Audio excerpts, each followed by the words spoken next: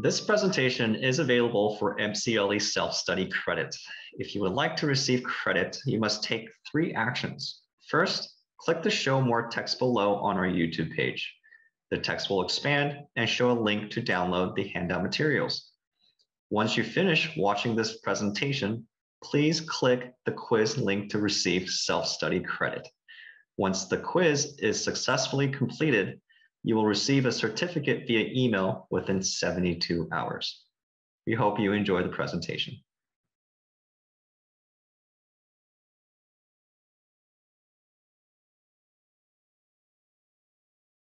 Good morning, everyone. Thank you for joining us today. For those of you who are just tuning in, my name is Hayward Cho, and I am the General Manager of ADR Services, Inc. I will also be acting as your MC and host for today. Uh, before we move on to the next program, I would like to briefly remind you of the following few housekeeping items. Uh, first, written materials are av available on our website at adrservices.com. Um, I will also post in our channel periodically the written materials, so you will be able to download uh, through there. MCLE certificates will be sent via email by end of day tomorrow. You do not need to sign in. Your attendance is captured through your Zoom. Programs are recorded and will be made available for self-study MCLE credit on our YouTube channel. Uh, you can attend some or all programs today and claim participatory credit for any that you attend. Please submit your questions using the Q&A functions through Zoom. And for any technical questions, please feel free to email us at mcle at adrservices.com. All right, so now I have the pleasure of introducing our next presenters, Carmen Alberio, Ed Weiss, and Chris White on legal ethics in an evolving landscape. Just a reminder, this is a two-hour ethics program. So first, I have Carmen Alberio. She is a recognized expert in the field of probate estates and trust law with 36 years of experience as a probate attorney for the Los Angeles Superior Court. As a probate attorney for the court, Ms. Alberio worked closely with over 55 judges presiding over probate matters, providing instrumental assistance with the preparation and review of matters coming up for hearing. Her intimate understanding of the proceedings make her an exceptionally knowledgeable and effective mediator of trust and estate disputes, where she is able to provide invaluable evaluation to her dispute resolution practice.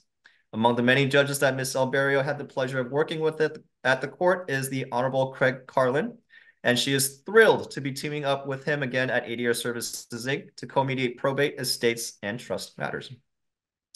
Next, we have Edward Weiss, a highly accomplished attorney with over 30 years of diverse legal experience, is renowned for his expertise in mediating and arbitrating disputes. Since 2021, he has committed his full attention to dispute resolution, also volunteering as a mediator for the Los Angeles Superior Court. A former federal prosecutor, trial lawyer, and business leader, Mr. Weiss has excelled in antitrust, business, employment, entertainment, consumer protection, intellectual property, real estate, and securities law. His extensive background includes an 18-year tenure as general counsel for Ticketmaster, the last 11 of which he was general counsel or chief counsel, where he played a pivotal role in navigating complex litigation and safeguard, safeguarding proprietary technology. Mr. Weiss holds a JD from the University of California, Berkeley School of Law and an AB in political science from the same institution. And lastly, Chris White practiced law for over 30 years and earned a reputation as one of the top civil litigators in California.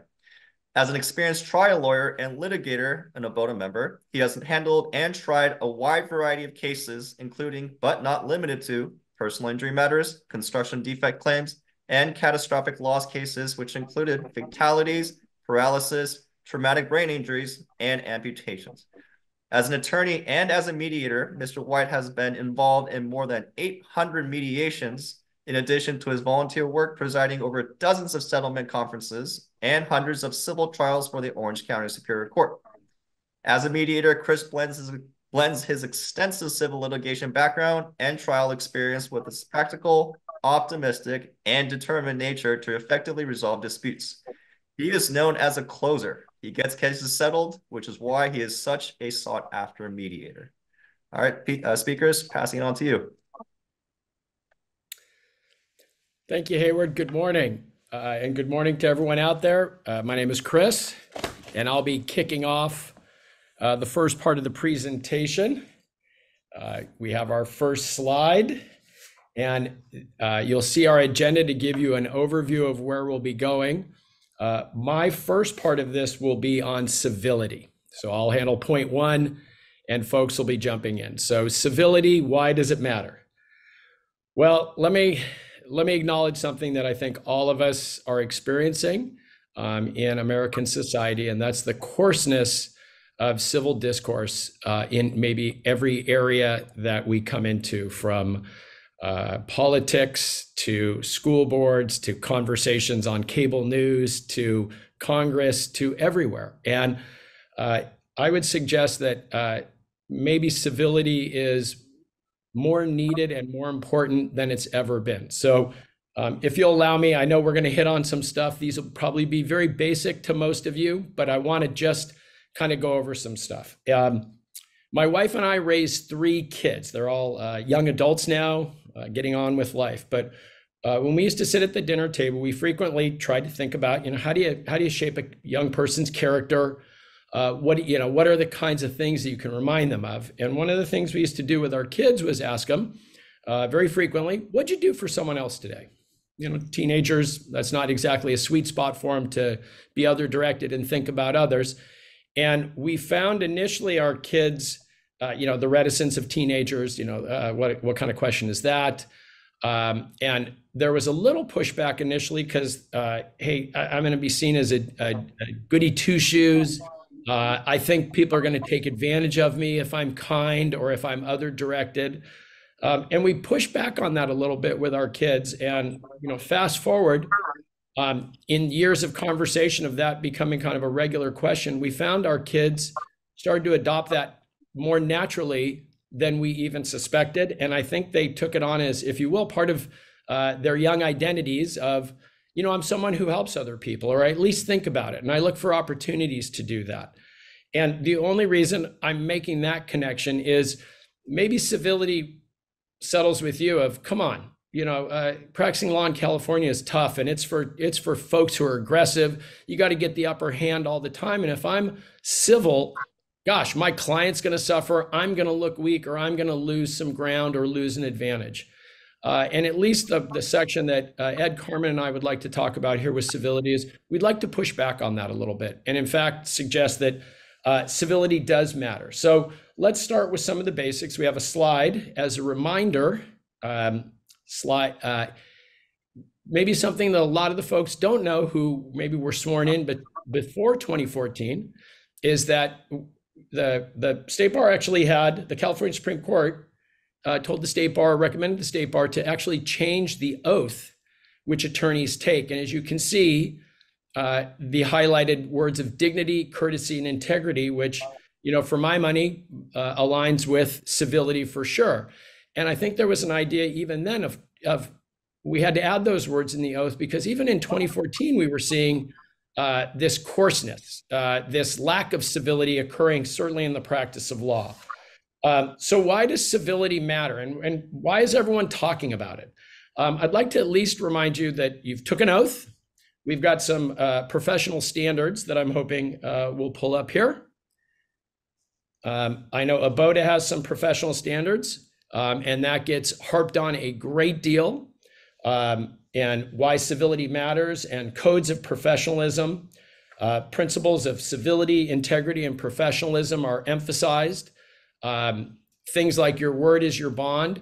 And, uh, you know, ABOTA, which I'm privileged and fortunate and humbled to be a member of, are a lot of experienced trial attorneys who are who are very good and they represent their clients zealously uh, and get great results. And the commitment to being professional is just foundational uh, to the folks in this group. And then, of course, our our bar, uh, our local bar, and we picked some Orange County uh, and LA civility guidelines, and it's just it's just emphasized um, everywhere. And so we're trying to remind people because I'm sure uh, you're experiencing it. Again, I, I my word is coarseness. Uh, there's there's just a lack of civility um, in society generally, and it's leaking over into the legal profession. So uh, we wanted to remind you of that, and we're actually seeing uh, this inability to uh, uh you know disagree agreeably Um, we're starting to see it even in uh, print media, and um, and we're seeing it just talking about in general society. So I think Ed, you had a, a slide and had read this article. If I'm prompting that up. On learning to disagree and argue with others.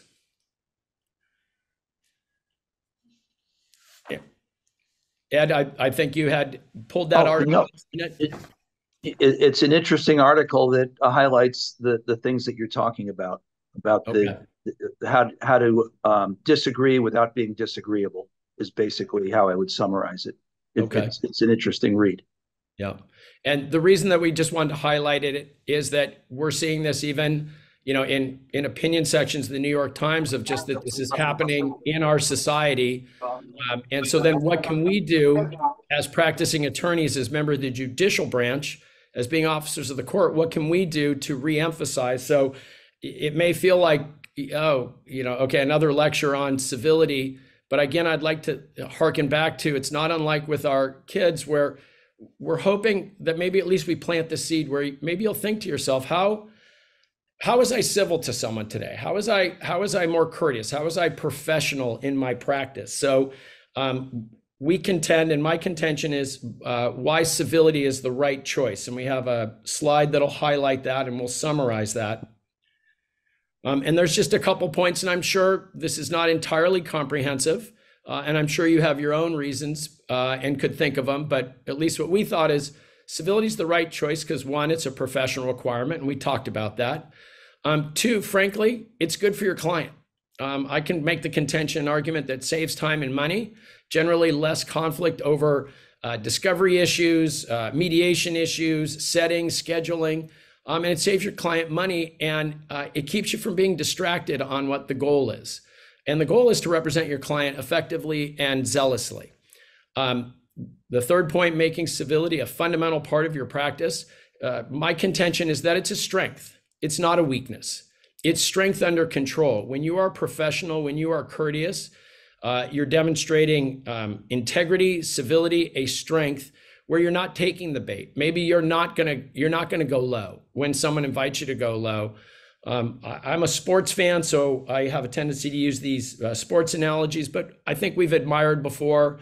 Uh, if you've ever been watching any athletic event and uh, one competitor takes a cheap shot at the other competitor, I don't care if it's basketball, soccer, football, whatever, and you see the the other the recipient of the cheap shot respond in a way where they don't try to strike back, they stay focused and they're trying to keep the objective on the game. They're trying to win the game. They're not trying to fight with the person against them who's trying to bait them into it. Um, as a mediator, frankly, I can tell you right off the bat when I have a mediation and the attorneys have a good working relationship, it's cordial, it's professional, they've picked up the phone, they talk to each other. It doesn't matter if they totally disagree with the other person's worldview or the other party's worldview. If they have a rapport and they're civil and they can communicate and they can agree to disagree, uh, it, makes the mediation so much more successful. I mean, they just, you can just feel them and they settle. It's easier to gain ground as opposed to, I can't tell you when I get a mediation and you get someone who says, you know, I, I'm not giving more than X amount to that son of a gun. You know, they were terrible to my client and I hate that. And you just go, wow, personal uh, uh, animosity is getting in the way of representing your client and getting getting your job done. Um, and then, you know, obviously I'm harping on the point, the last one, society in general is losing the ability to have respectful discussions in which folks may disagree about something. And we we we we know we're all experiencing it um, so, how do we help combat this corrosive trend and help protect the importance integrity of the court judicial system uh, and that and the judicial branch of government? And so, it really becomes at least my first part would be it's a little bit like the question that I asked my kids, and I hope for the attorneys out there, and it's a good reminder for me. I, I, no one is above this of maybe internalizing and asking that question. How was I professional today? How was I civil? How did I conduct myself? or did i just did i just add to the coarseness the breakdown of communication we're losing this ability to have uh, discussions in which different viewpoints can be expressed but they don't have to become personal attacks. You can listen to each other. And frankly, being being an attorney, that's what we're supposed to do. So uh, it may seem basic. I hope it's a reminder. I hope it's helpful. And again, civility is the right choice. Um, I'll hand it off to Carmen, and Carmen's going to talk about. We're we're starting to see this coarseness spill over into the courts, and I know that was Carmen's experience a great deal.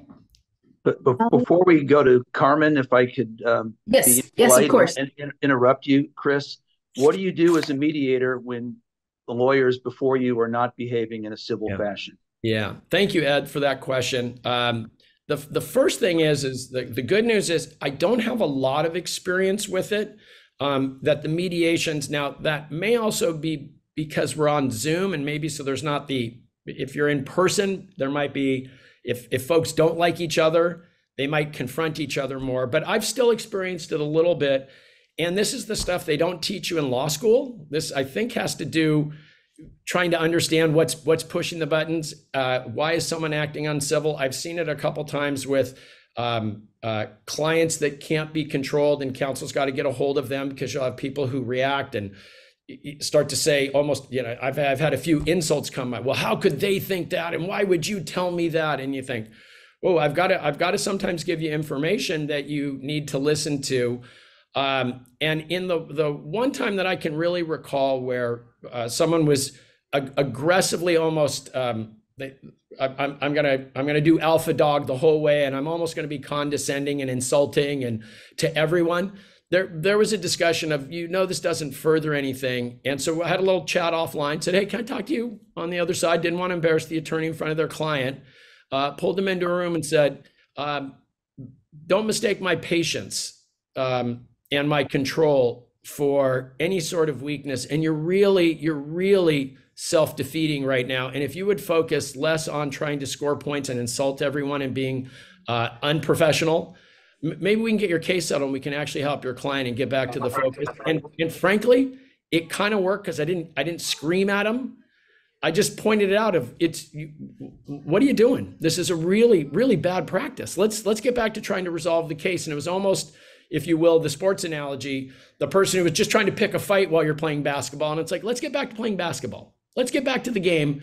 And and they seem to accept it. So that's yeah. the that's the best I can have it. And I think it comes down to uh, mediators having a sense of the room and being prepared and being people who practice civility to begin with so they're ready for it they're ready to confront it and not and not take the bait so and I'm sure there are many other good answers. Ed, would you have any suggestion on that? Have you had an experience with that?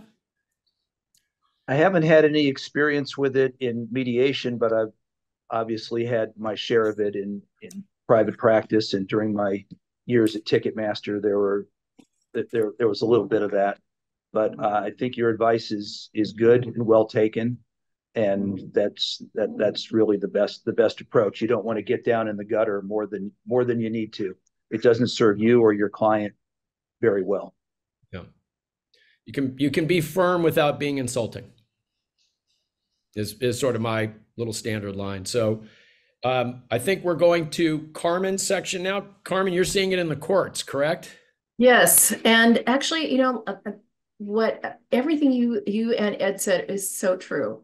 Um, you you have to continue to be professional when you encounter people who are being uncivil um, um, and uh, unfortunately i think because of covid the covid closures and the post covid covid environment now where the courts still want people to appear remotely it, that's an unfortunate an unfortunate side effect of that is that um, a lot of attorneys, especially the younger ones who are just coming into the practice, are not getting the experience of being in court. Um, I was a probate attorney for the Los Angeles Superior Court for almost 37 years. And um, as a probate attorney, uh, I had an opportunity to sit in the courtrooms, to uh, sit in on, on um, ordered mediations, um, and just you know walking from my office to the courtroom to the clerk's office, uh, sitting in and watching you you have a valuable experience in a courtroom full of attorneys and their clients. It gives you the ability to observe not only the court and the court's demeanor and how the court deals with attorneys uh, and their clients, but also how the attorneys interact with other counsel, with the clerks, um, with the judge. Um, you learn uh, in a courtroom the etiquette, the courtroom etiquette, uh, and you observe and you learn from the experienced attorneys that treat people with dignity and respect who do, you know, in spite of the insults that are being uh, sent their way, they continue to advocate strongly for their clients without uh, getting into um, a, an argument. Um, the court, you know, everybody in the room, I, you know, sitting in the room, you know, just had so much respect for the attorney that could continue to advocate for their client in a civil um, manner. Uh, and it's something that a lot of young attorneys aren't getting a chance to see because of the fact that there's a lot of remote appearances. That even when you show up in court in downtown LA, there's very few people in the courtroom. So um, unfortunately, you know, prior to COVID, you had this wonderful opportunity in the courtroom. And sometimes when you had inexperienced young attorneys show up and they were rude to opposing counsel, they were rude to the clerk, sometimes they would interrupt the judge. They couldn't get the hint that the judge was saying, hey, I've heard enough. You, you don't need to say anything further, but kept on talking. Um, you, you, you, unfortunately, you don't see, you don't have that opportunity uh, anymore. And I think what's lost on some folks is the fact that you're not just an advocate for your client. You are an officer of the court. And I can't emphasize enough how important um, each of us are as we play a part in the judicial system, in the orderly administration of law. I, you know, I love my job. I love being in the court. I love the whole process because we were all part of making the administration of law a success despite all the you know uh, things that sometimes don't happen correctly sometimes there's delays and stuff we have a judicial system that works that and we have dedicated people. We have dedicated attorneys representing for their clients. We have dedicated judges who spend hours and hours of time preparing for their cases every day. We have you know um, probate attorneys probate examiners clerks uh, court reporters people that you know always go the extra mile to help make the system work. And we all have to remember um, from the judges to the attorneys to everybody involved in the legal process we are important in making that process work. And, and in order to be able to continue to have a wonderful legal process, we have to have civility. We have to, we, there is absolutely no reason why you can't advocate strongly for your client without getting into um, arguments. And, uh, you know, I've seen my share over the years of people in different courtrooms um, I, there were three attorneys lined up in front of a judge. Two of them uh, on the sides were were just you know being very rude and uncivil to the attorney in the center, and the judge you know uh, tried to get them to stop, and finally got off the bench, went in cha chambers, and gave them 15 minutes to cool off. And when he came back, they they all apologized for their. It doesn't serve your client's purpose. It doesn't allow the court to move forward with their caseloads. if They have heavy caseloads. Um, there's not enough time in the courtroom as it is to actually give each case the attention that the attorneys want for their cases. They're just, the courts in California are always understaffed. They have large caseloads, they have large trial caseloads coming up. Uh, you know, some of the courtrooms in LA County are setting trials two years into the future. They have a heavy workload. They they don't need to spend extra time trying to have attorneys um, learn that you have to be civil. So um, part of also, you know, the the the the the side the bad side effects of COVID on the court and court attendance is that you don't have attorneys don't have the opportunity like they used to to bring young attorneys to the courtroom with them. I used to see um, a lot of experienced attorneys come down the hall. I'd say hi to them. Oh, I'd like to introduce you to my new associate. I'm bringing this associate here so that they can learn, um, you know, uh, what the court process is all about and how to make appearances. And, you know, that was an invaluable tool. Mentorship for the younger attorneys by the other uh, uh, more experienced attorneys is um, something that unfortunately I think there's less opportunity for that now. And um, and I, I would suggest uh, to the uh, experienced attorneys that um, you know part of doing this mentorship is that you because you love and respect our legal system and the practice of law, which is such an exciting and diverse practice. I mean, you have Ed who has a certain experience, you have Chris who has a certain experience, you have me.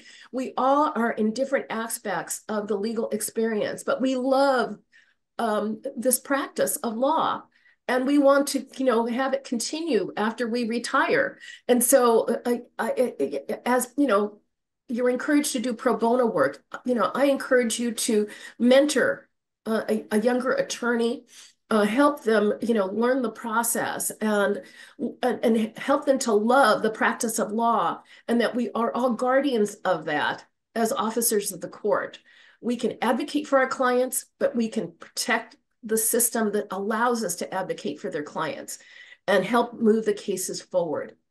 And the other thing about communication, um, unfortunately, I think one of the aspects of social media has is the it, it, it sometimes allows people to be rude online without having any consequences for their behavior or to actually see the impact of how this affects somebody that you're criticizing online sometimes you know way beyond you know um, the bounds of courtesy. Um, and sometimes that filters into the emails and the text communications. Um, and, you know, you need to think about, you know, what when you're sending these things, you know, how, how it may sound. Even when you don't intend to be rude, I remember getting a, a, a, a little um, tutorial when we started having emails, you know, because I've been around a long time before we even had computers.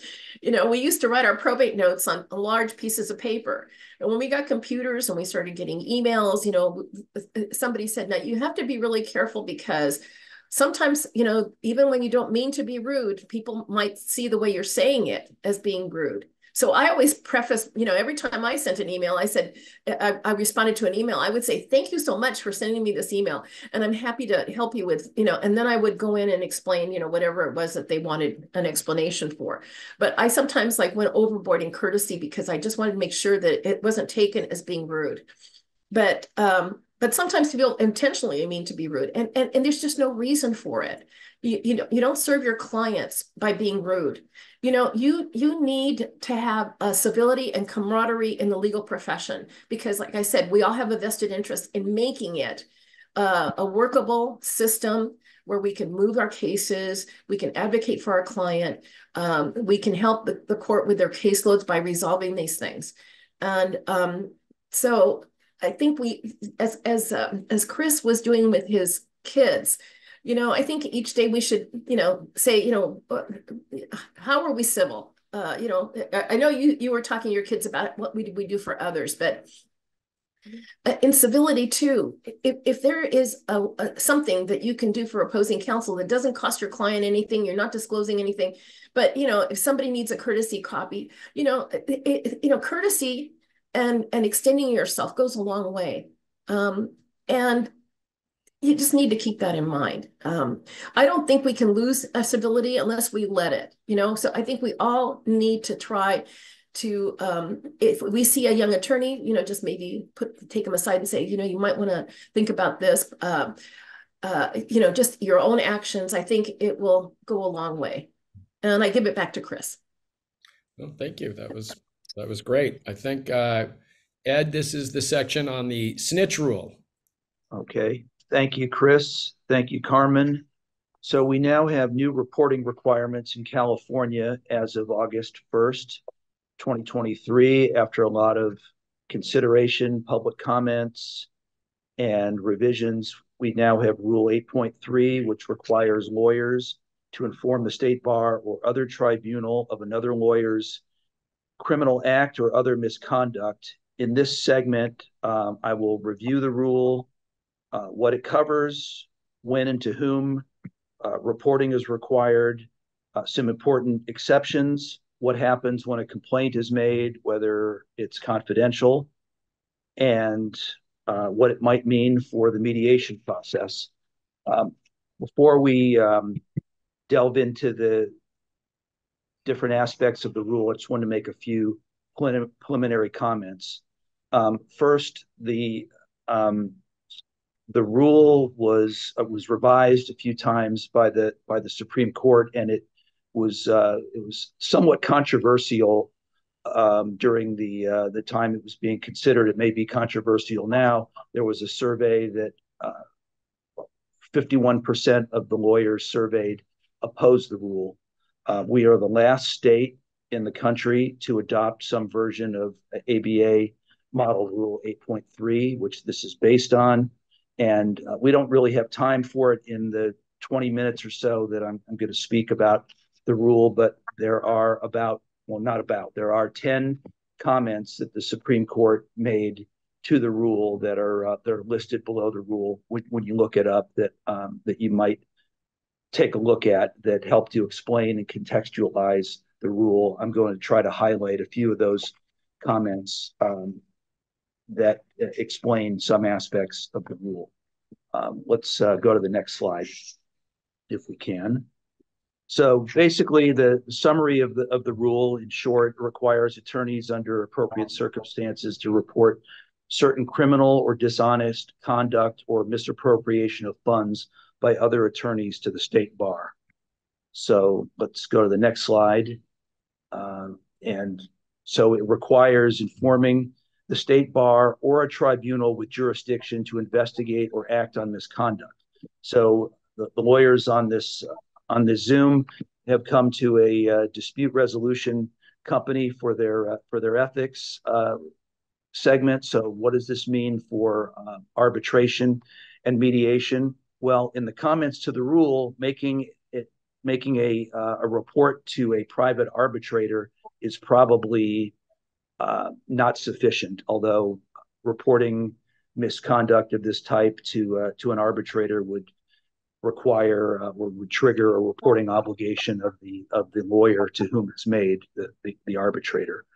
Um, when is it required? Um, it's when it's it's required. Uh, reporting is required when there's credible evidence that another lawyer has committed a criminal act uh, or uh, has engaged in conduct involving dis- dishonesty, fraud, deceit, or reckless or intentional misrepresentation or misappropriation of funds or property, and the um, conduct rises to the level that is, uh, it creates a substantial question as to the lawyer's honesty, trustworthiness, or fitness in other respects.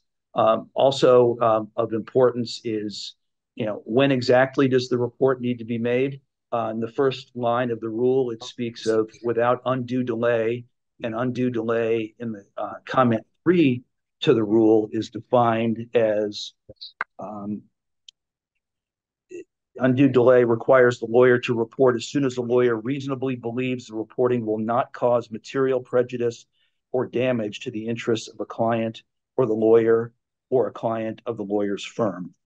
So basically, what I think that means is unless there's some material prejudice or damage that would arise, you need to make this report pretty much right away.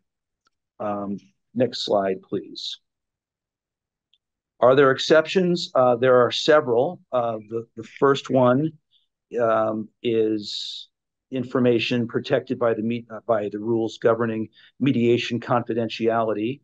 So uh, we will discuss those confidentiality rules in the next segment, but um, just noting noting them for now. Let's go to the next slide, please.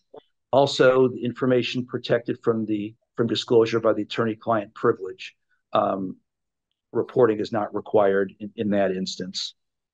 Um, ne next slide, please. Um, so th this just is more more uh, language uh, making it clear that the attorney-client privilege is not uh, undermined by this new reporting requirement.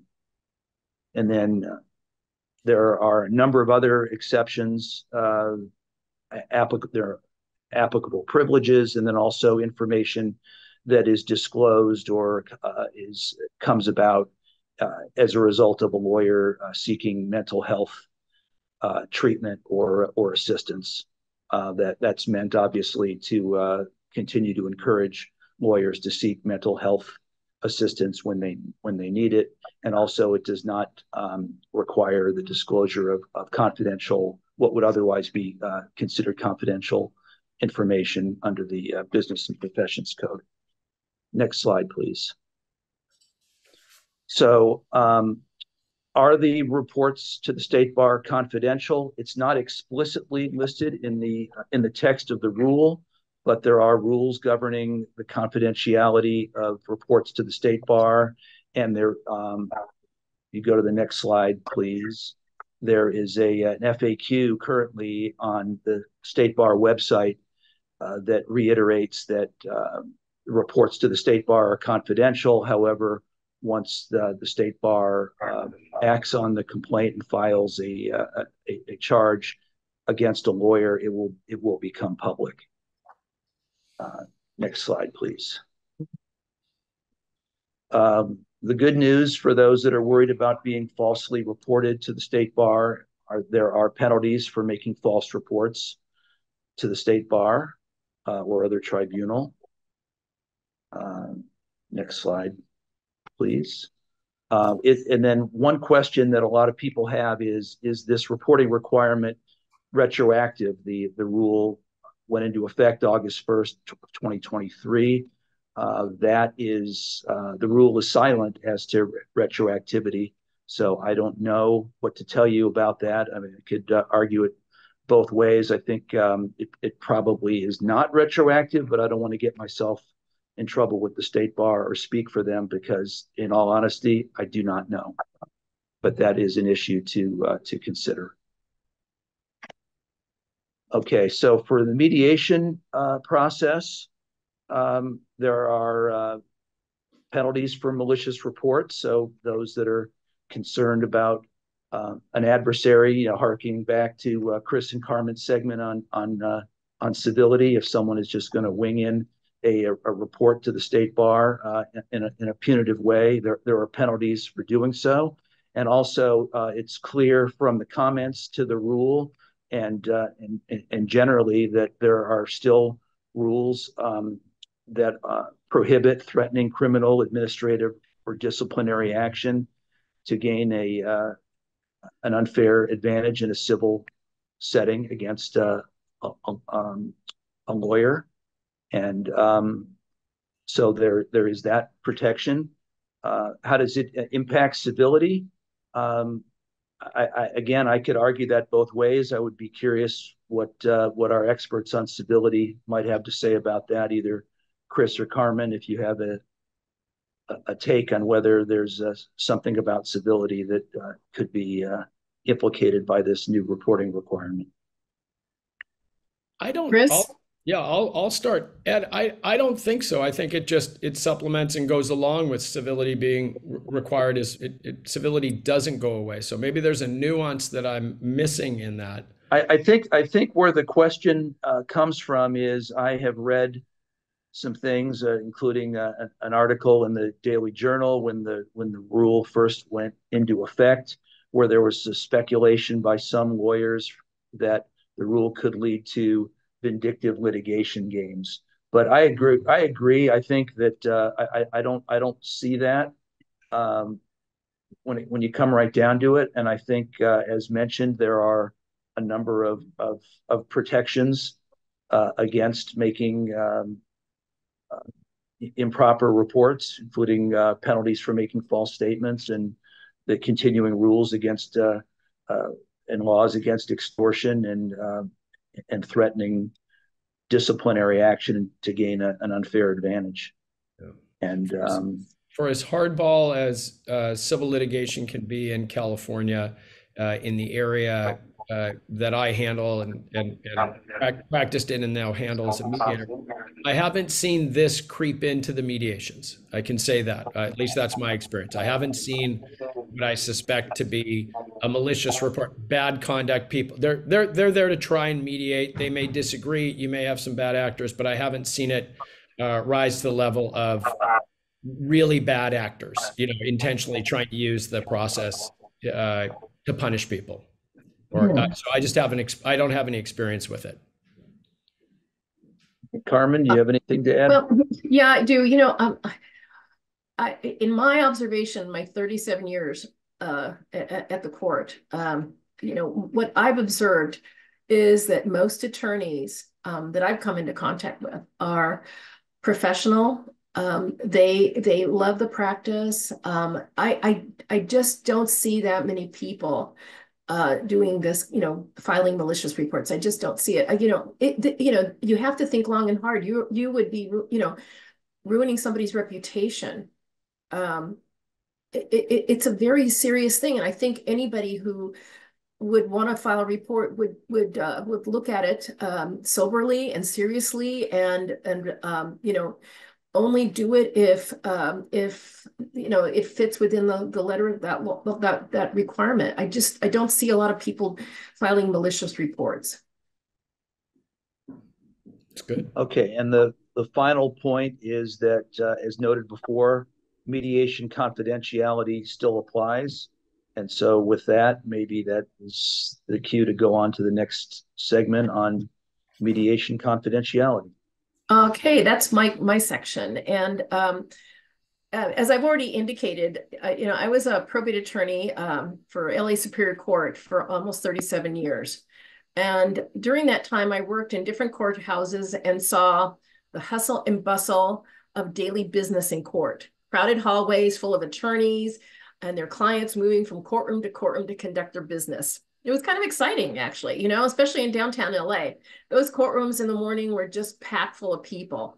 And um, one interesting aspect of it as i used to go from my courtroom to my office uh, was um, these informal conferences that i would see periodically. Uh, attorneys would sit down on those really hard cold marble uh, benches um, in the hallway trying to resolve their cases before um, their calendar matter was called, or sometimes they would just run into another attorney that they had a case with, and they they they had a few minutes during the court recess and sit down and try to resolve their their their their on their coming um, their case that was coming up.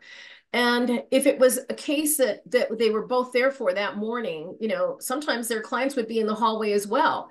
And uh, sometimes like I would observe the attorneys sh shuttling back and forth between the opposing counsel and their clients, whispering, uh, uh, chatting for a little bit. And sometimes they would actually settle their cases in the hallway. Or at the very least, sometimes they would narrow the issues that the judge had to decide. Um, and it was just it was just a really interesting um, learning experience for me watching all that going on. Um, and I marveled at you know the the practice of law in the hallway. Um, and it's it's unfortunate because of COVID and the post COVID um, uh, way of doing things in the court. Um, those days of crowded courtrooms and early resolutions uh, in the hallway are appear to be a thing of the past. And so you know it was kind of you know i would have to say more of an like an informal impromptu way of mediating and resolving your case without actually having a mediator there with you. Um, but you know since we don't have that and that was an avenue that a lot of attorneys use i think if we could actually garner some statistics about how many cases were settled in the hallways in different courthouses we'd all be surprised at how many were settled that way. Um, but, but we don't have that. So we need we need something else. And I think mediation is is so important. I'm, I'm a strong advocate of mediation because I have seen what it can do. Um, it can give uh, an early resolution of cases that may have a trial date two years into the future.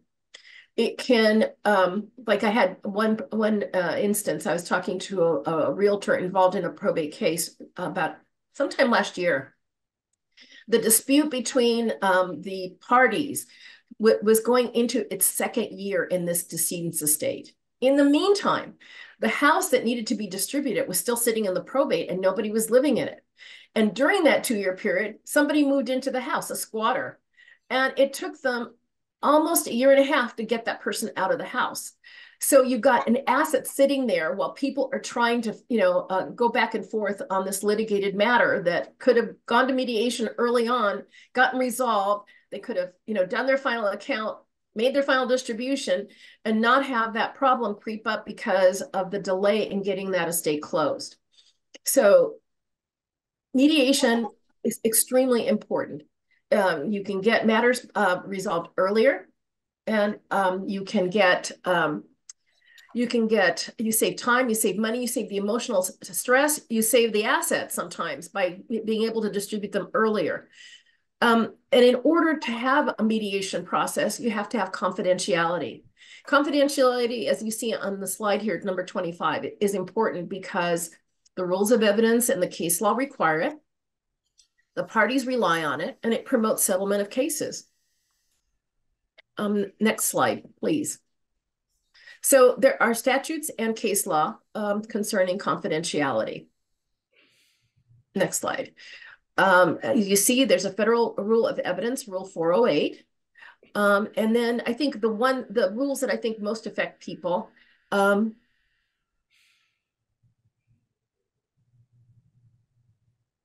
um, California evidence, uh, there's California evidence code rules that I think people uh, are going to be more interested in. And the most important, I think, and I put it at the very top, is um, section 1119C that says all communications, negotiation, and settlement discussions um, by the participants is confidential.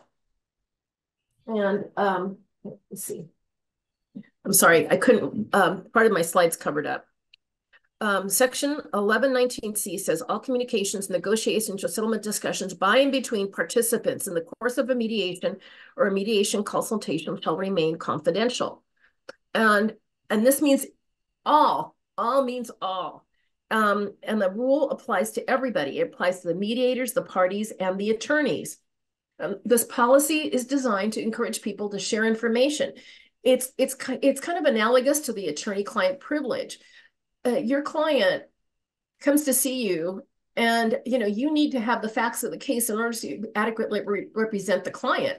But they don't want to tell you some stuff that is kind of um, it doesn't show them in the best light. And you say well you know you can tell me because we have an attorney client privilege you know and i can't disclose this information. Um, and so and and you know because we have this attorney client privilege attorneys you know guard it you know it's like a sacred oath well, you know, confidentially in mediation fosters, uh, you know, resolution of issues. We all have to treat it um, sacrosanct and, and not disclose information. It's, it's because the policy is designed to encourage people to share their information and compromise so they can resolve their cases. They don't want to have to be worried about what they said in, in, in mediation to come back at them later on if, if the case doesn't get resolved.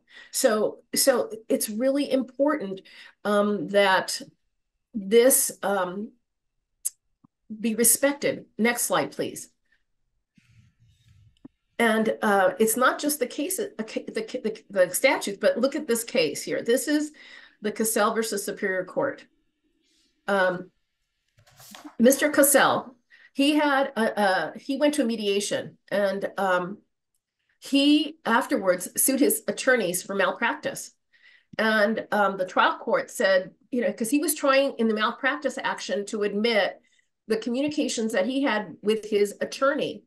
Um, and the, the Superior Court said, you can't disclose that.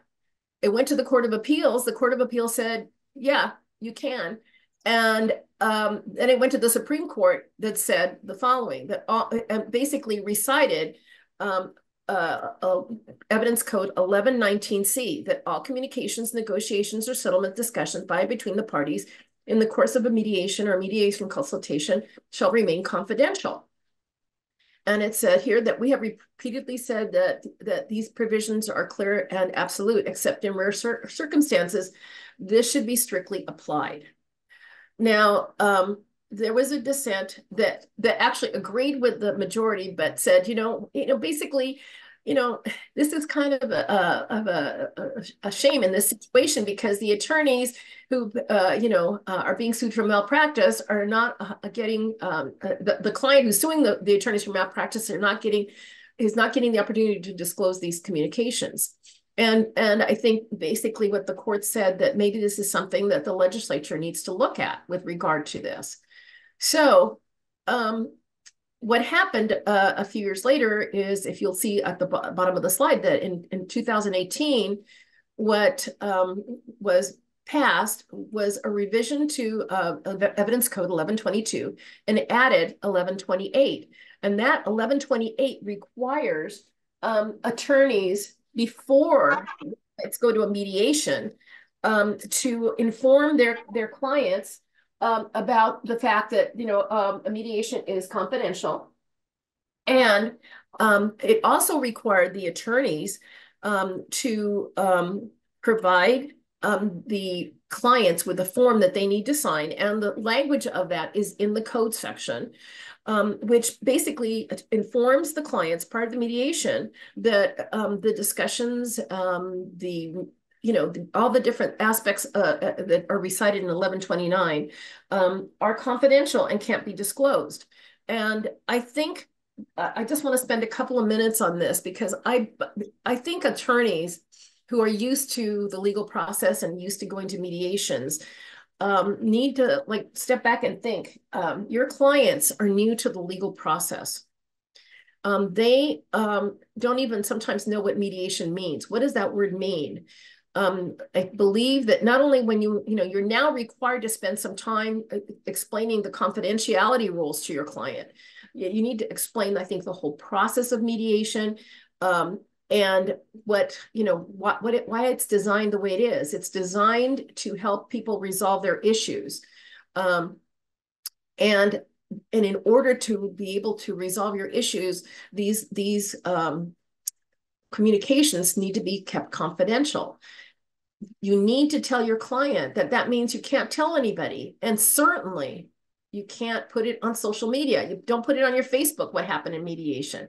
Um, I was talking to an attorney I know yesterday about a case. Um, he told me that there was some kind of a confidential um, memo um, in, a, in this case. It had nothing to do with mediation, but he found out his his client put it on uh, on on a social media page, something that was confidential. So I, I think people need to spend some time talking to their clients about um, the confidential aspect of it this is a good avenue to resolve issues. Uh, and I want to spend some time indicating because I worked for the court for many years.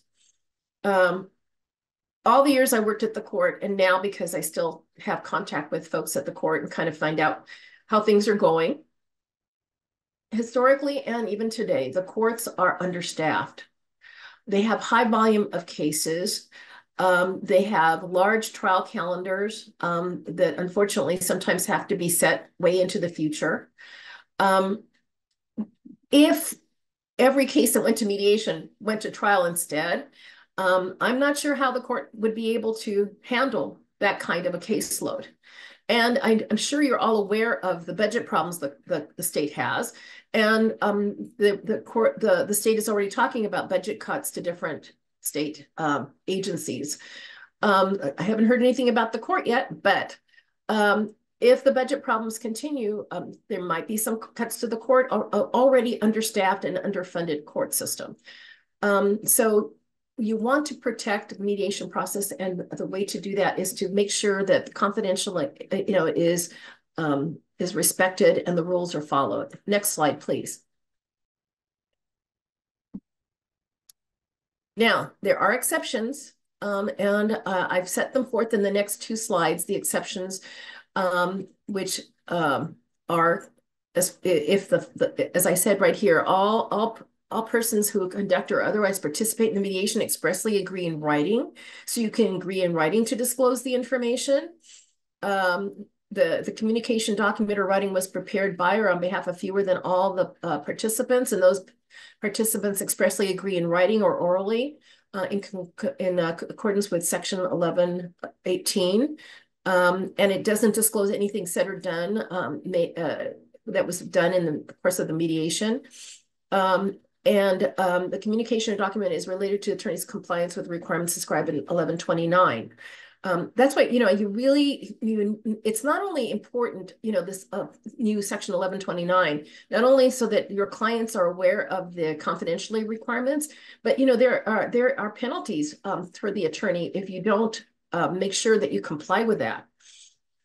Now, um, I don't know how many people, because we don't have statistics, but um, I've heard that sometimes, uh, you know, from somebody who seems to be in the know, and I don't have any, you know, any basis other than the, the comment that was made to me, is that some attorneys are forgetting to have their clients sign that disclosure, um, that acknowledgement agreement that's required in 1129.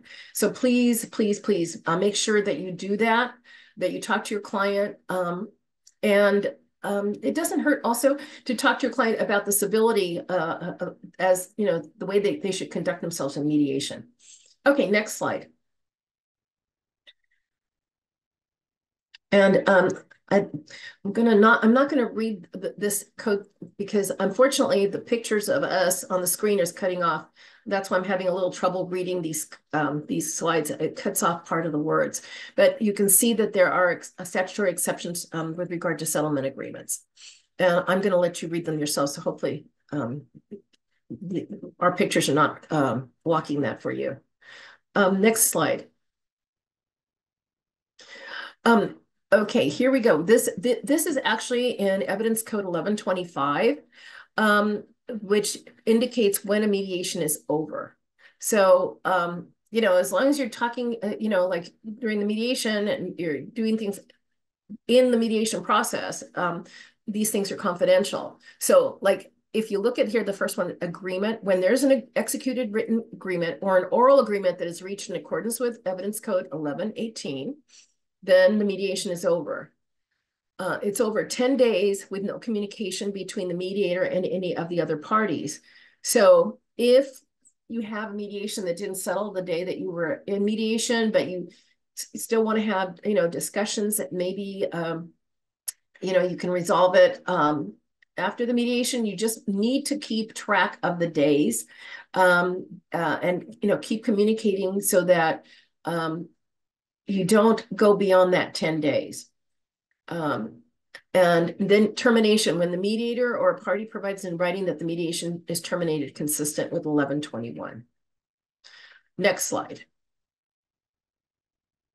Um, I don't know if a lot of people are aware of this in California, but there is a, a Uniform Law Commission in the United States, and um, there's a Uniform Mediation Act, which has been adopted by 13 jurisdictions.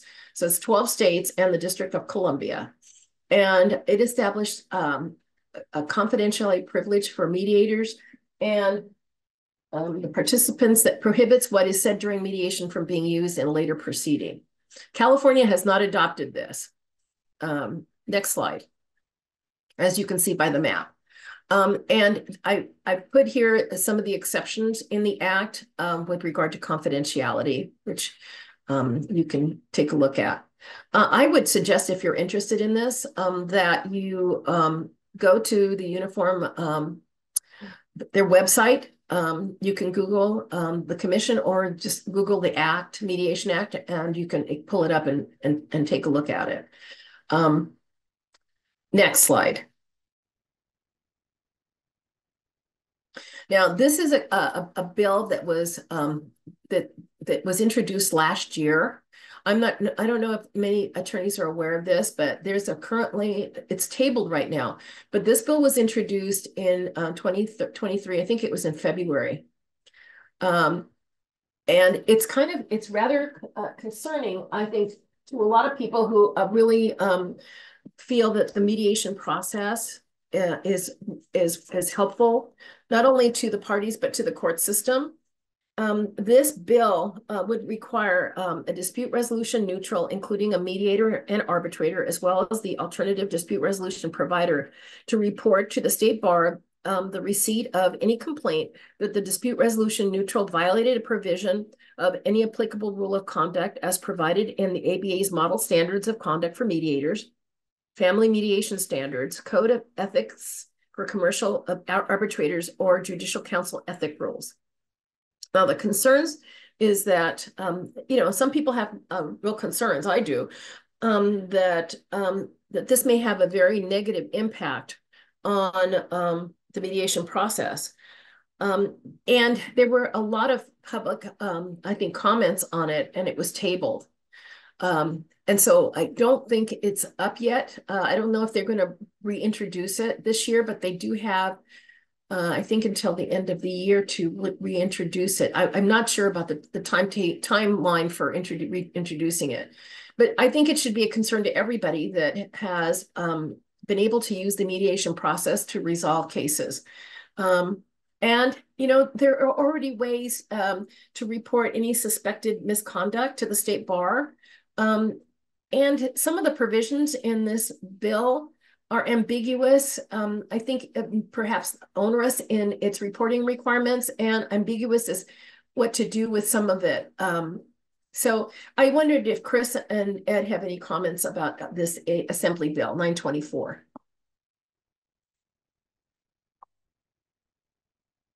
Chris? Didn't know if Ed, Ed, you're on mute. Um, nothing, nothing new to add other than the concerns that are listed on your on your slide. Of there's already protection for it. Yeah, I, I think I think it's concerning for the reasons that you mentioned. The sponsor of the bill, I believe, is Assembly Person Jesse Gabriel from the West San Fernando Valley, um, and he's the one that was pushing it. I, I think there was some some opposition from from members of the bar and the the neutral community that caused it to be tabled. I, I don't know the specifics, but if anyone is interested in um, opposing it, it would be, you know, wouldn't be a bad idea to let Assembly Person uh, Gabriel and other Assembly members and state senators know about it. I, I, if if it impacts um, mediation severely, it, it, I, I think it would be very difficult for the court system um, to be able to handle the, the caseload um, that would uh, incur this it would would happen if uh, if people you know um, were not being able to do mediation. So I just food for thought and something to keep an eye out for. Yep. Um, next slide, please. Okay, so here's um, my takeaways, um, the summary of what um, I was talking about. Uh, remember that all the communications, negotiations, and settlement discussions by and between participants in the course of the mediation or mediation consultation shall remain confidential.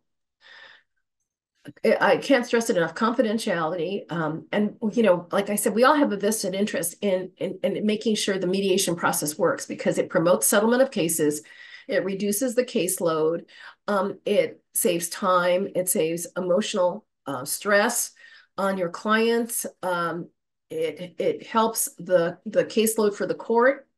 Um, it's it's a it's a good alternative to waiting two years for a trial.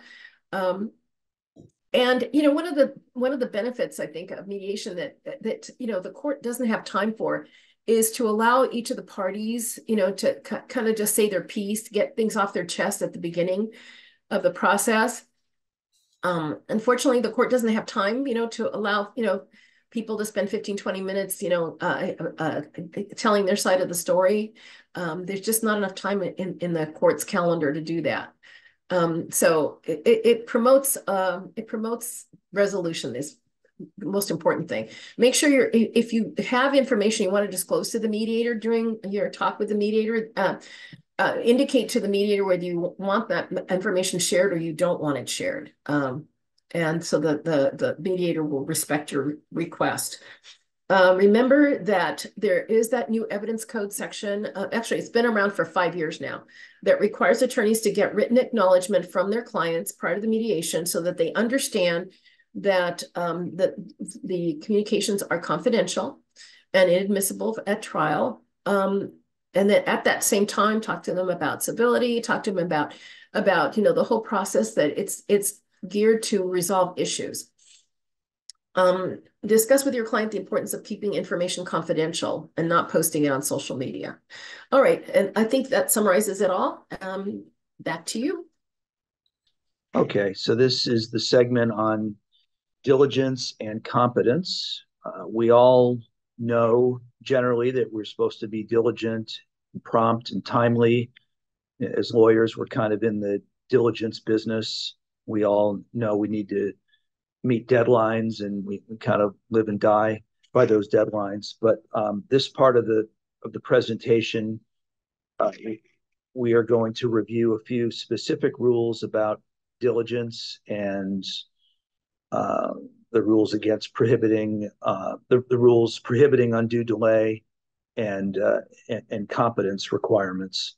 Um, so we're going to go through those. We're going to go through a few examples of ways in which those rules could possibly be violated, and then we're also going to talk a bit about what these um, what these rules mean for the mediation process.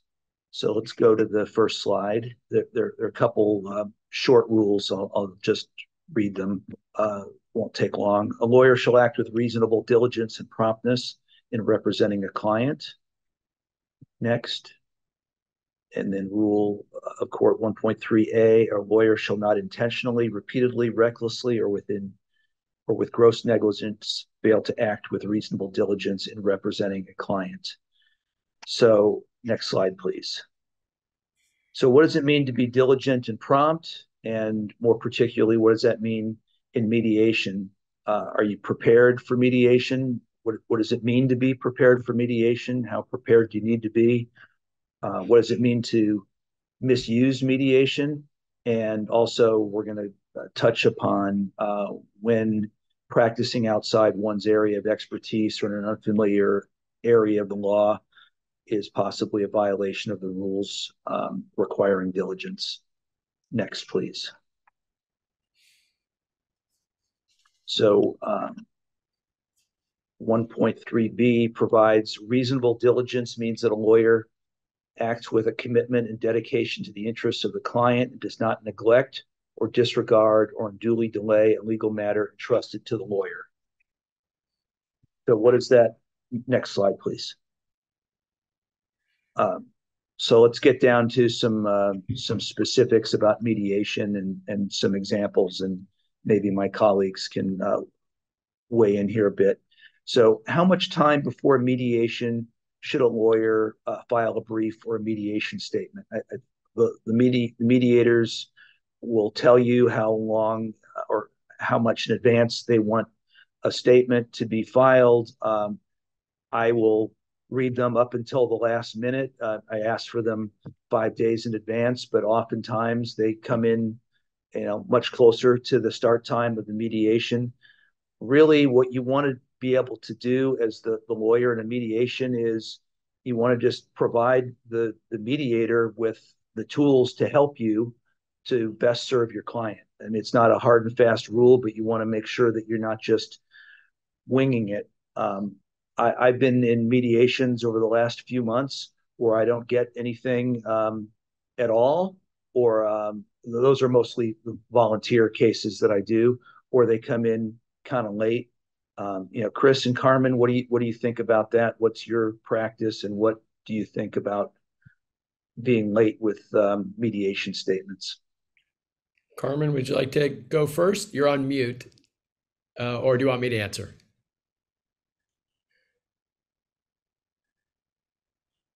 Okay, I'm on, I'm, I'm here. Sorry, can you hear me? Yes. Um, we uh, require, we ask uh, the, the parties to submit the mediation briefs five days before the mediation.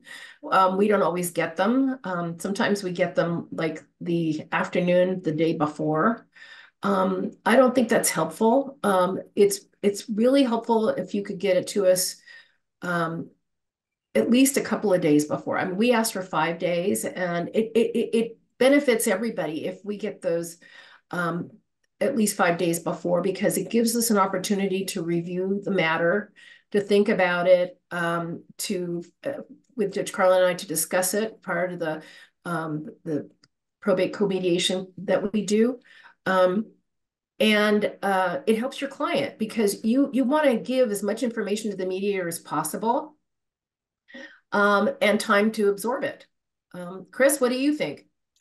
I have a, a request on a five-day rule as well. I, you know, as we're all acknowledging, there's a practical implication of practicing uh, law in California, and I know uh, for folks who do the civil litigation, sometimes uh, you're getting last-minute information. Maybe you're getting a report from a doctor. You're waiting on some key information. So I can certainly understand um, and have a grace period. You know, if I can get a mediation brief three days before. I asked for five. If I can get three days before, it, it's great. And if I get it the day before or the morning of, makes it tougher. Uh, it's not something that's insurmountable, but um, it it puts a strain on the mediator, and you want, uh, you know, for the purposes of the mediator, uh, having a good understanding of two, three, if there's four sides of being able to comprehend that information. Um, I guess I would say is that if you are filing or sending your brief a little bit on the late side, um, maybe try to practice brevity. You know, the the ones that you get in the morning of, and this is rare, but it'll happen. The, the morning of, it's a 35 page brief, and it's got you know 75 pages of medical records or something that or some memos that they want you to reference and you think you know i'm i'm i'm happy to do it and i can get it done but you're just putting a tougher strain on it. So i, I look at the again the more prepared folks are the better the mediation seems to go. You can almost at least in my uh-huh. experience i can see a connection between them yeah you you want to enable the mediator to help you as much as possible. You know i'll i'll, I'll read anything at any time uh, you know, i'm there to there to serve. Uh, i'm not the the judge in the case. I'm not the decision maker in the in a mediation but it helps me to be more useful if i can get it in advance and digest it and think about it and and ask questions beforehand so that when we start the mediation we're ready to to make some progress and, and be productive. So the, the next um, example or the next category, I guess, is knowledge of the facts. Showing up at a mediation without really being conversant with the facts. Again, if you you're, you're not arguing the case to the judge or the jury, but if you don't show up with uh, enough familiarity of the facts, at least the, the, the critical facts of the case, you're not doing your client uh, a service and you're you're hindering your ability to enable the mediator to uh, be as helpful as possible. Um, either one of you have any? Uh, well, I I, I agree with that. that? I, I, agree with you, Ed. Um, and sometimes people look at mediation as well. It's just one one one thing we have to do before we go to trial. I don't think you should look at it that way. I, I think you should like you know prepare for this mediation like uh, you know, I don't say ex- uh, spend an inordinate amount of time because attorneys have practices, they're busy, but I agree, you need to know the facts, but, you know, t- try to be prepared so that, um, and, you know, submit the mediation briefs sooner rather than later so that we have some time to look at it and we know the facts as well. Um, you know, you, you should look at the mediation process as, hey, we're going to get this resolved and we're not going to have to have a trial you know so be be as prepared as you can possibly be given your time constraints know the facts and um and if you look at the at the mediation not as an un, you know i have to go to mediation but hey this could resolve everything mediation Let, let's give the mediator all the facts um i think you'd go a long way. So one concrete example you know confidentially and uh, or respecting confidential confidentiality and anonymously that i can provide is I had a patent mediation where uh, it turned on what the uh, what the sales figures were and what the and therefore what the, the royalties potentially owed might be, and that critical information wasn't produced until midway through the uh, through the mediation. The, the case ultimately got settled, but it, it made it more complicated, cumbersome, and difficult uh, to do. And if that had been uh, and the, the lawyer that provided it wasn't uh, was learning some of that information on the fly, as was I, and was the uh, the other side. So it was uh, it just made for a more difficult experience. So, hey Ed, I would I would like to comment on if, and I think we're talking maybe a little bit about number two right now, but I might leak over to number four unless you want me to to hold off. Because what I would say on number two is not only knowledge of the facts as the attorney showing up, but I, I, at least in the cases that I mediate, uh, I can't tell you it can come down an important part of the settlement posture is gee the the plaintiff was great in depo. The plaintiff was re- oh, really struggled wasn't wasn't a very good witness. The defendant's pmq was wonderful. The pmq didn't know anything and was a disaster. And if you get an attorney who shows up and is maybe familiar with the depo and maybe read the black and white uh, transcript but has no idea how it went no feel for it is a jury going to like them? How's that going to go? The strength, weaknesses. So it's it's a little bit beyond the facts, but it's still a part of the case that frankly can be so important in the cases that I mediate. And so if I if I have attorneys that aren't familiar with how the witnesses did, how, how are they going to come across to a jury? It it really impacts mediation. It and it holds it back, frankly. Yeah, I, thanks, Chris. I, I wasn't bleeding over into uh, number four. That's okay. more of a legal, but uh, thank you for that. It's more of a, a, a legal matter where the, the attorneys or one or the other shows up without having figured out or thought through in advance what the measure of damages is, not what they are, but what measure of damages is going to be applied. And uh, if if you show up with without a clear idea, uh, in some cases of what that is, you're uh, it's, it's not helpful to the mediator, but more importantly, it's not helpful to the interests of the client in, in getting a uh, having the best possible opportunity to, to settle the case um, in, in a um, in a favorable manner. So uh, going jumping around here, going back to number three, uh, how much time and expense should you go to in preparing a, a mediation brief or preparing for mediation? I, mean, I think the obvious answer um, generally is depends on the case, how complex it is, how uh, how much at stake there might be. You're, uh, you're not going to put 35 hours into a four thousand dollar dispute. Uh, you, you, wouldn't you wouldn't be doing the, the client uh, a, any favors, and you probably wouldn't even get paid for it. Um, but you do need to um, make sure that you're putting the appropriate amount of time and effort into your mediation brief and preparation before you show up. Uh, do either of you want to make a comment about that, perhaps? I have, I have, nothing to add. I think it's right for me. I agree. Okay. Um, so the the final point is, and this all is kind of a catch-all for the for the other points. I mean, how per, uh, persuasive are you able or prepared to be at the mediation? This is, uh, you know, it's not the whole case, but you know, it could be uh, an inflection point, or it could be your client's best opportunity to get out from under something, or to get a um, a, a, good uh, a good settlement.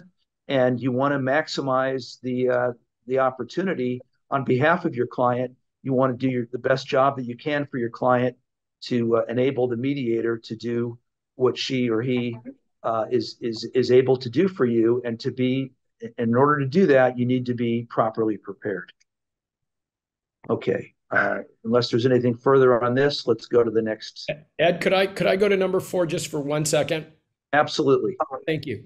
Uh, on the calculation of damages, just discussing damages, um, and again, my my uh, my practice is um, not only that they have the the damages calculated and listed out, and it can be med records and loss of earnings kind of stuff, the liens, but it's really helpful when both sides have uh, recent in the last you know year, two years, three years to support their view of the world. Because how many times have uh, am I in a mediation where where in the world are they getting that from? And then I have a party that produces some verdicts that really support that position um, and you see it and you say, listen, they're they're giving verdicts and showing or what this jurisdiction uh, does and has a basis for it. And I think that can be very persuasive uh, for everyone. The, not, I mean, it's persuasive to me just as the mediator of thinking, well, I'm going to go communicate that to the other side, and boy, you have to absorb this, and you think this is a ridiculously high demand, or you think it's a ridiculously low demand. But let me show you their last four trials. Let me show you this jurisdiction. Let me show you uh, what the trend is. And it's really very helpful. So it's not a calculation of damages per se, but it's supporting the basis for your damages. So I just wanted to add that. Ed, you're on mute. I don't know how that happened. Okay, uh, maybe we'll discuss that in the technology section, my Yeah. lack of proficiency with the mute button. Okay, next slide. Thanks, Ed. Thank you.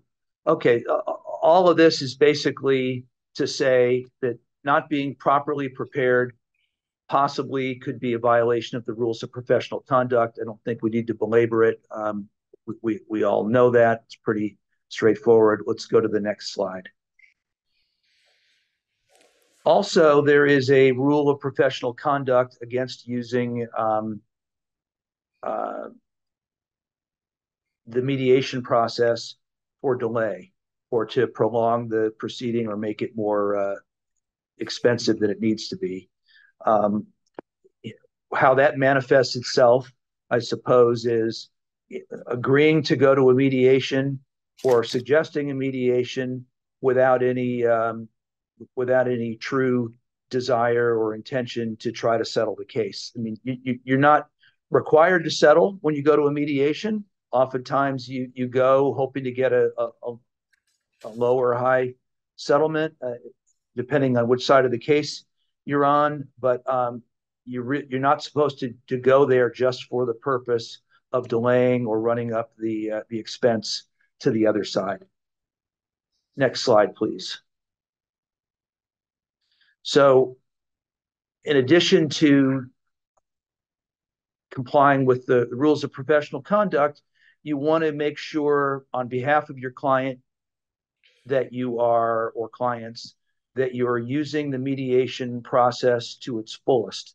You are, um, if you go to a, a mediation uh, and you're not fully prepared or properly prepared, you are wasting your client's time and money. Uh, you're also perhaps squandering an opportunity, maybe their only opportunity, maybe their best opportunity to get a good or a satisfactory settlement. And um, you know, there are times in a case where the case is ripe to be settled. You know, there's a picture of a duck there. That's just sort of a reminder that, you know, you want to be able to be in a position to feed the ducks while they're quacking.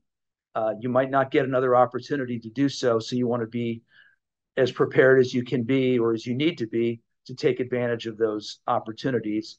And the final point that I would make is, and, and this covers everything that we've been talking about, is uh, as as lawyers, we are uh, in in business and in practice ultimately to serve the interests of our clients. And um, the things that we're talking about are the way to best serve the interests of your client. To be to be prepared, to be ready to to um, get the best result possible for your client in mediation and do what you need to do within the ambit of that case to make sure that you're ready to um, to do it and to perform when you go to the mediation. So that's basically. Oh, there's one last point. Let's go to the next slide. If there is one. Uh, there's not a slide for this, but th- there's the. Uh, I wanted to touch on the point of competence uh, and when you are practicing outside of your area of expertise and uh, when you wander outside your area of expertise there are, are pitfalls uh, that you should be aware of and that uh, you should be cognizant of and i think um, in discussions that we had in preparing for this i think carmen had some uh, some real life examples and some thoughts about this that i think are very useful so uh, carmen do you want to uh, make a couple of comments about about that aspect of competence you're on you're on mute, Carmen. Carmen, you need to unmute yourself.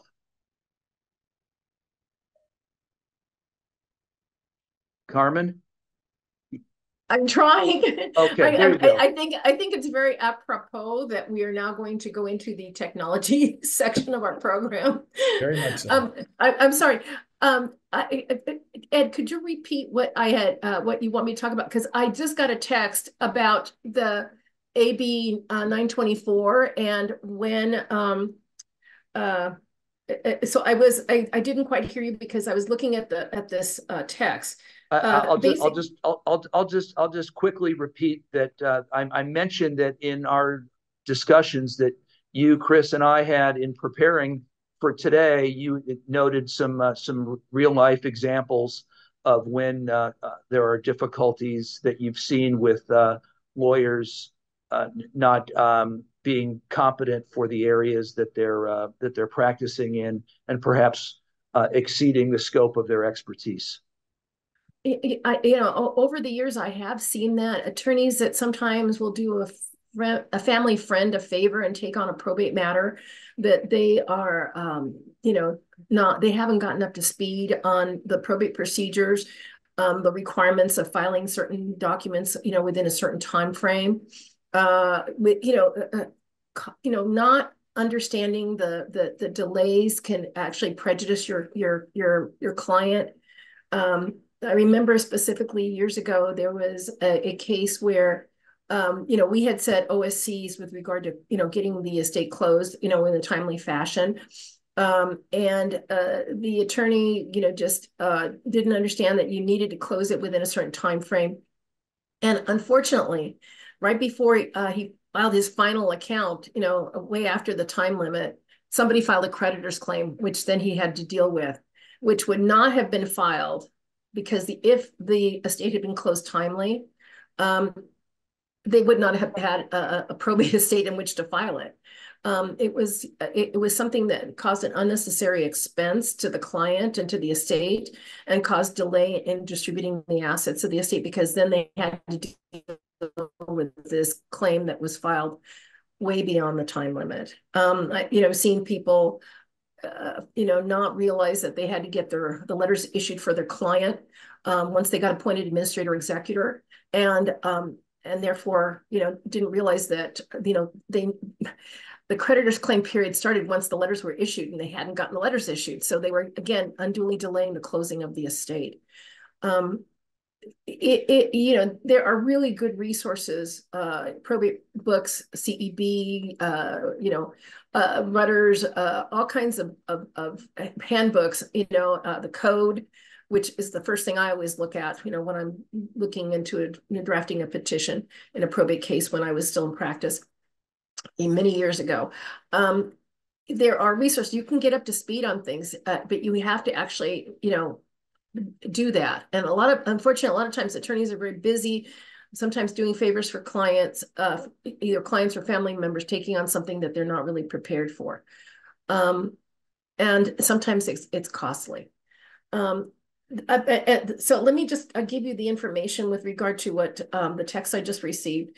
Um, with regard to AB 924, um, the legislature has uh, the deadline to introduce bills is, is actually February 16th, 2024. So um, it's it's it's within the next month um, that uh, that the deadline is going to occur. Um, back to you, Ed. Okay, thank you. That wraps up the segment on uh, diligence and competence, and I think it's over to Chris to finish it up with a segment on technology. I think that's right. Uh, all right, folks. we're, we're, one, we're not at the end, but we can see it from here. And two, uh, there is a uh, smile on my face because uh, this is, I, I, actually didn't realize I was going to tie this theme in, but it occurs to me when I started off telling you about what we told our children, et cetera. Um, one of the things we also said was do as I say, not as I do at times. And this is one of those where I am uh, talking to you about something that uh, I am no expert. Uh, I struggle with technology, and it's and it's almost important that, uh, and I'll just refer to myself as the more senior type person, type attorney. Uh, I graduated law school in 1990. This was not anything as part of our practice. We're going to talk about it. So while earlier comments might have been maybe uh, felt a little bit more directed at you know younger attorneys, you know, oh, they're not getting a chance to go into court post COVID, et cetera. I, I think this is geared in particular this technology section uh, to more senior folks like myself. So again, this is a do as I say, not as I do. I want to make sure that I don't represent any expertise in that.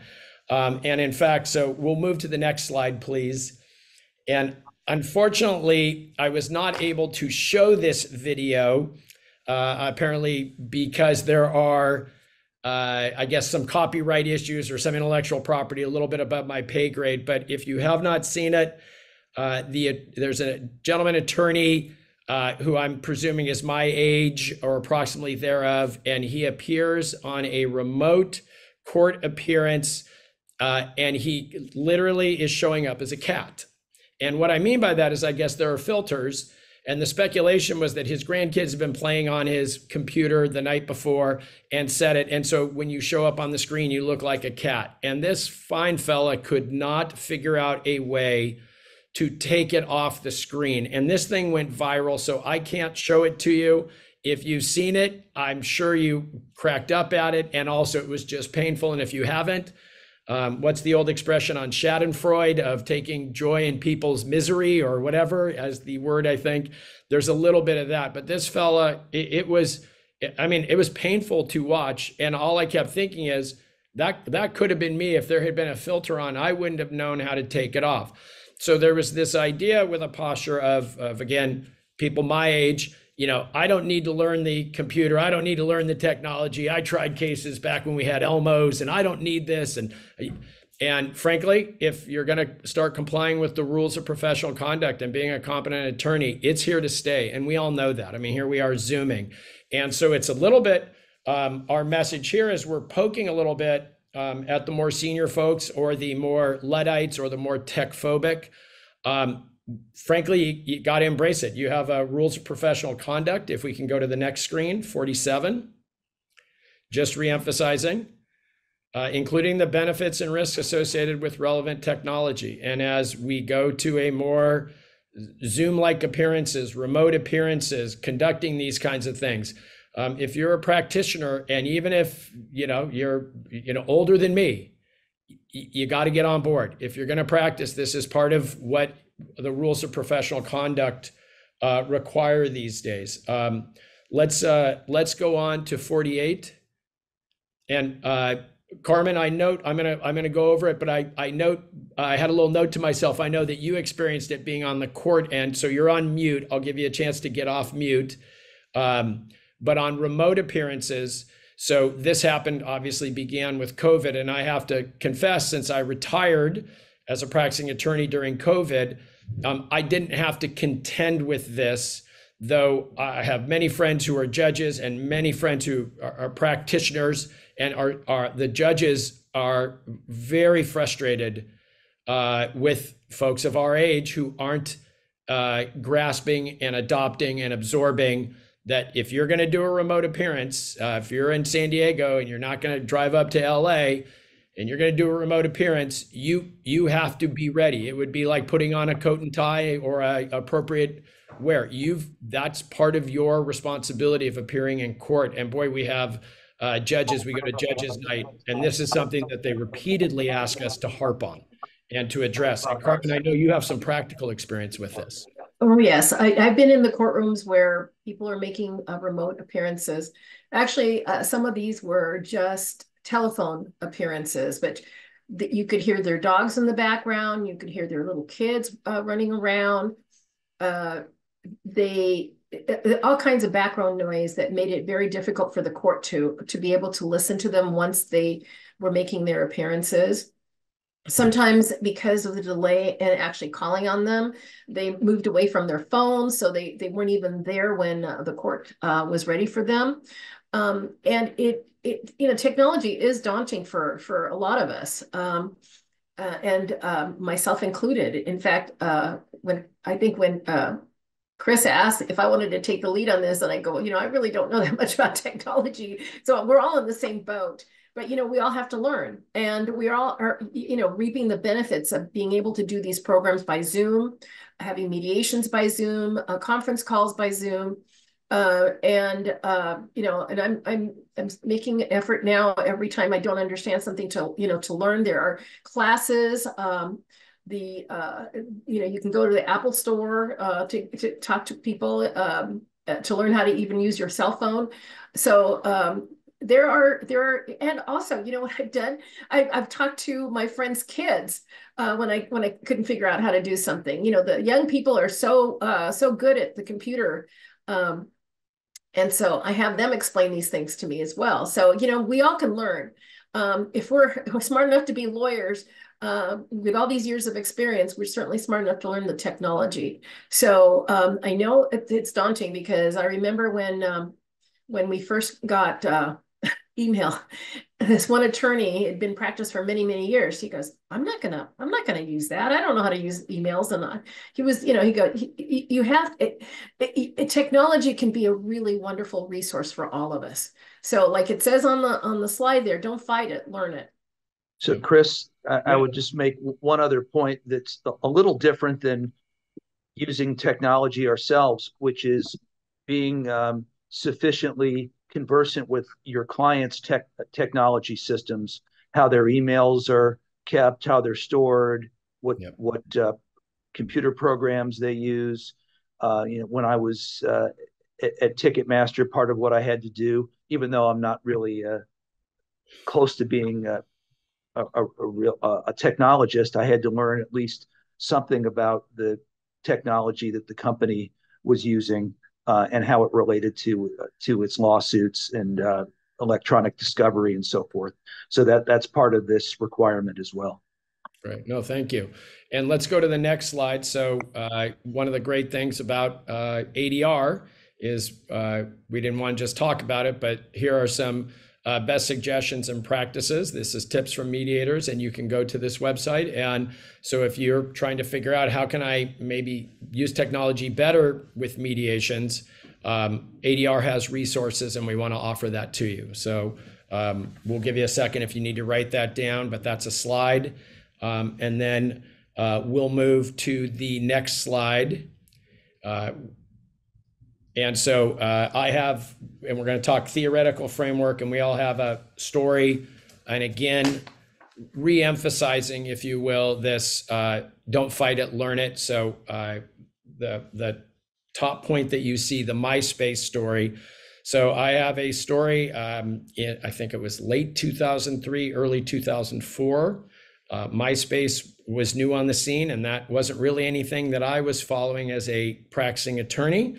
Um, I have a client prep, uh, a depo of a PMK who's a safety director, and, a, and we had a very large catastrophic accident, big dollars, big complications, uh, lots going on. And so I go meet, as I do, want to go meet and prep with the PMK, the PMQ if you want, and uh, have all sorts of questions. And it's the safety director, and I'm asking, you know, we, we're going through background, how this is going to go, spend two, three hours getting this uh, witness ready.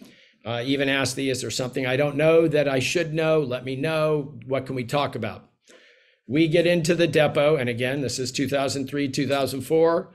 Uh, at this point, I tried a lot of cases, think I know what I'm doing, and I get a question in the middle of the depo from counsel that I had worked against many times, and in fact have worked with worked against since, and we're great friends. Middle of the depo, ask my witness, um, you know, Mr. X, um, are you an alcoholic? And I about jumped out of my seat. It's one of the few. What in the world? Objection, improper. I want basis. We we go off the record.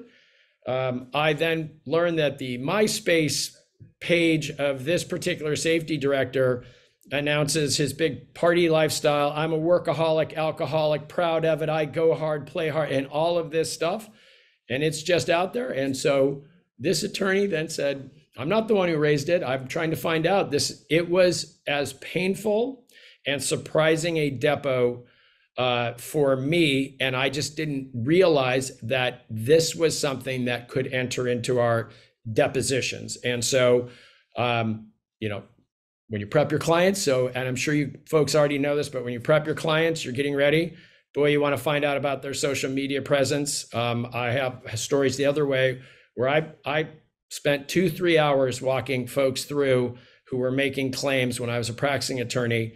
Um, gosh, you went to the doctor here. This is what you told the doctor. Gosh, here's on your social media that night you're doing this, and then were you doing this, and were you doing this, and th- and it got very painful for lots of folks um, because of their social media presence. So uh, you know, we we attorneys, and I'm sure it's in the the zeitgeist and ethos of practicing law these days, but eh, people still get surprised by it. I'm surprised by the degree to which attorneys don't familiarize themselves with their client or their witnesses or the witness they're deposing their social media presence because it has a lot of information so um, you know we didn't we didn't learn this in law school this isn't anything at least for practitioners of my ilk. This is not something that we were raised with. It doesn't come at least i'll speak for me intuitively and didn't but but we have to learn to absorb it because it's here. It would be i, I would say 100 years ago if you had attorneys well i'm not going to learn this telephone.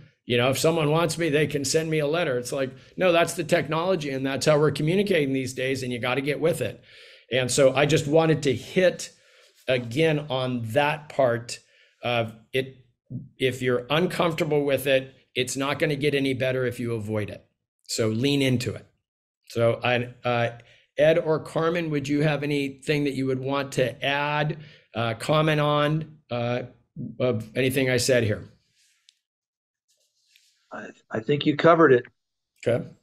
Uh, I think we're going into the next slide. I know we're we've got a little time, so uh, uh, in terms of closing thoughts, um, I I feel like the presenters. I, I don't feel like I need to recap anything I said. I didn't know. I don't know if Ed or Carmen feel like they need to, and if you do, well, why don't we just run through all 50 slides right now just to make sure everyone got it?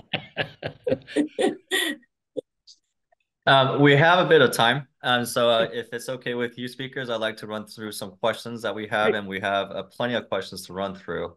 Um, this one is a lengthy one, so let me, uh, please allow me to read it real quick.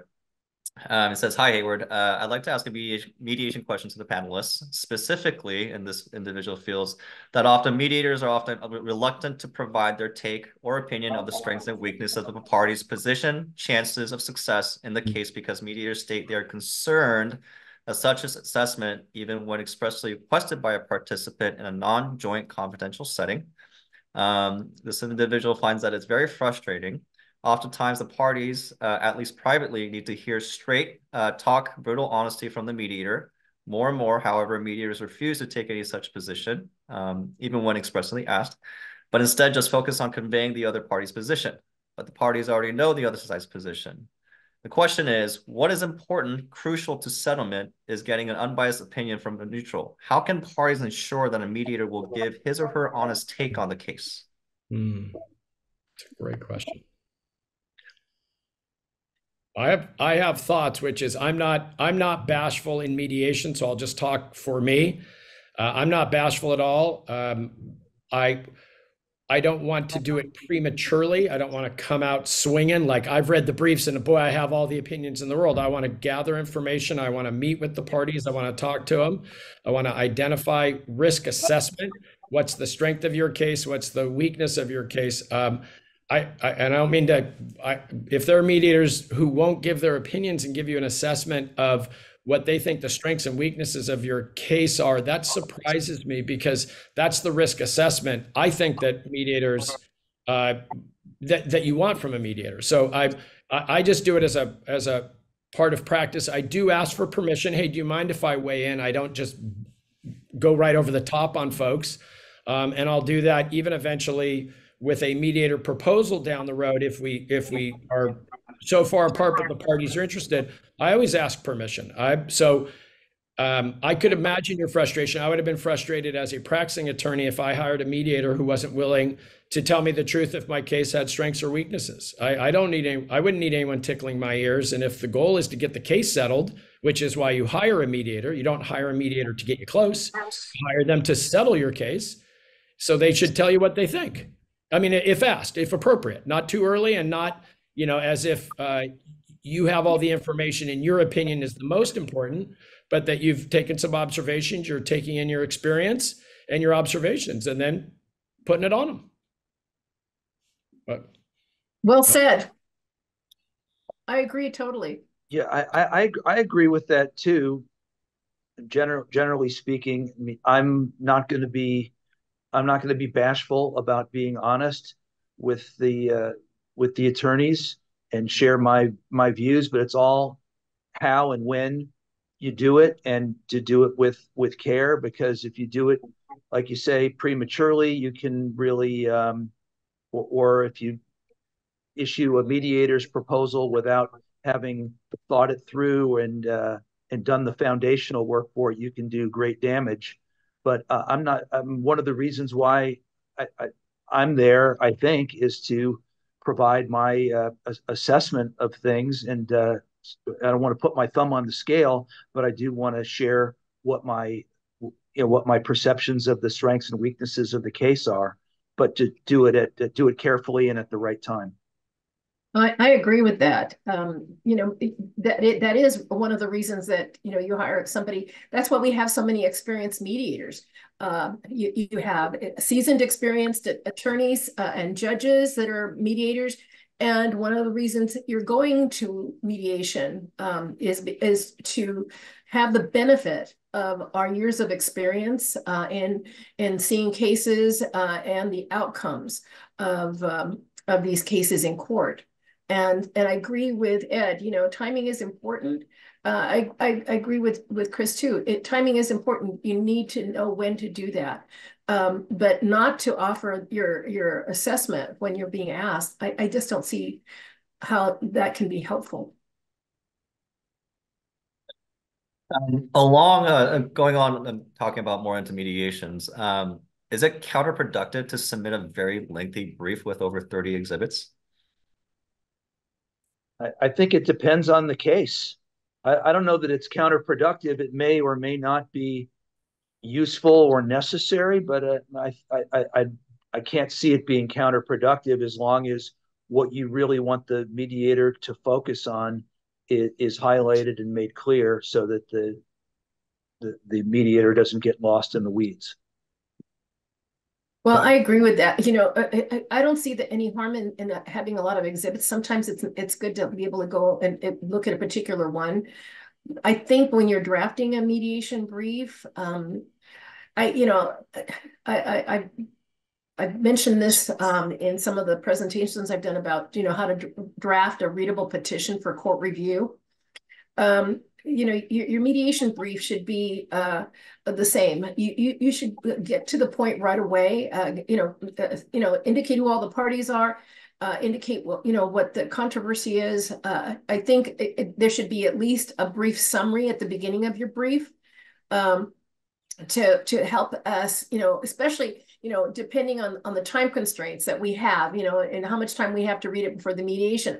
I, I even if you submit it five days ahead of the mediation, it, it doesn't hurt to, to give us a brief summary at the very beginning and then just go into the details after that. So, you know, give us an idea who the parties are, you know, uh, you know, what the controversy is, uh, you know, why you think your, your side should win, what are the code sections or laws or cases that support your position. And then, you know, attaching exhibits, um, you know, I always like, if, if I've got a, a, a, matter that's contesting an accounting. Uh, I always want to see a copy of the accounting attached to the the, the brief. That's always helpful. Um, and there may be other documents that I, that that you think are helpful. You know, and it, it gives the mediator the ability to look at whatever they want to look at in order to be prepared for the mediation.